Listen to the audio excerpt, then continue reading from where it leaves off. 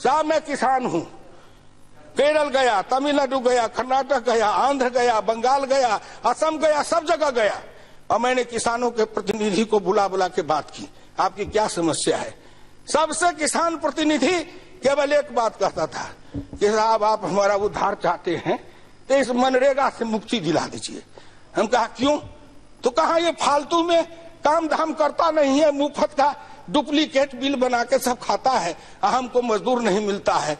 रघुवंश सिंह जब ग्रामीण विकास मंत्री थे, उन्होंने इस पर चर्चा की कि एक योजना का स्वरूप बनाया था कि मनरेगा से मैं कहता हूँ, जो दो सौ रुपया कि पौने दो सौ रुपया रोज देते हैं, वो दो सौ, पौने दो सौ रुपया रोज किसान को दे दीजिए खेत के मजदूरी के, मजदूर के लिए।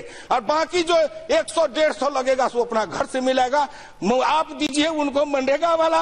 बाकी डिफरेंस वो तीन सौ, चार सौ, पाँच सौ लगता है। तो उसमें मिला करके वही देगा। हिंदुस्तान के सब मजदूर को काम मिलते रहेगा। काम देंगे हम। गाँव गाँव में रोज़गार देंगे हम। और हमको क्या बनाया गया?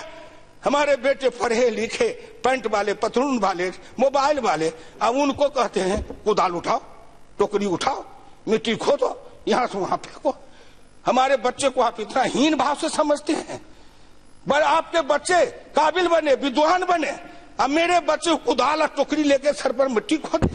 कहा डम्फर का जुग आया, कहा जेसीबी का जुग आया, कहा ट्रैक्टर ट्रॉली का जुगाया कहा हिंदुस्तान इसरो वाले एक ही सैटेलाइट से 104 छोड़ रहे हैं स्पेस में। अंतरिक्ष में सैटेलाइट छोड़ रहे हैं। कम कहा चले गए?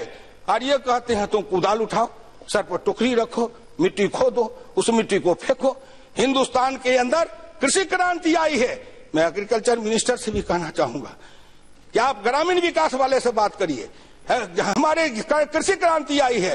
पहले हल बल से खेती करते थे, तब कच्ची सड़क से काम चलती थी। अब ट्रैक्टर है, पावर टिलर है थ्रेसर है, हमारे पास में कंबाइंड मशीन है, ये सारे चलते हैं खेत तक।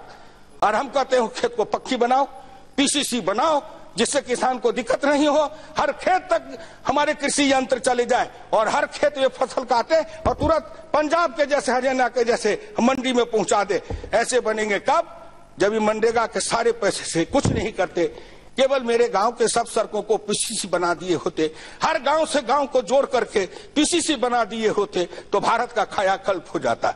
इसलिए कि दृष्टि ग्रामीण नहीं थी, दृष्टि किसान वाली नहीं थी, इसलिए वो सुर नहीं गए। इसलिए मैं प्रार्थना करना चाहूँगा, राष्ट्रीय कृषि विकास योजना चली उससे किसानों में क्रांति आई। हमारे आपके समय में ही श्रीमान अटल बिहारी वाजपेयी ने इस योजना को शुरुआत किया था। उसे किसानों को यंत्र मिलने लगे कृषि की सामग्री मिलने लगी, उपकरण मिलने लगा, उसमें चलने लगा, बाद में चल के इनके राज में वो चाइनीज़ पावर टीलर मंगा मंगा करके साठ हज़ार का पावर टीलर, एक सौ एक सौ पचहत्तर, एक लाख पचहत्तर हज़ार में किसानों को बिकवाने लगे। मैं भारत सरकार को धन्यवाद दूँगा कि हम लोगों ने इस ओर ध्यान दिलाया तो उन्होंने कमेटी बनाई है। आईसीआर के डीजीजी सुंदरम साहब इस कमेटी के चेयरमैन बने हैं और उनको अपना रिपोर्ट भारत सरकार को दे रहे हैं। मैं कृषि मंत्री जी से मांग करूँगा कि उनके रिपोर्ट की दिशा में भारत सरकार को कार्रवाई करना चाहिए, इस पर सोचना चाहिए। लोकसभा में आए हैं, हम सभी स्वागत करते हैं आपके तरफ़ से।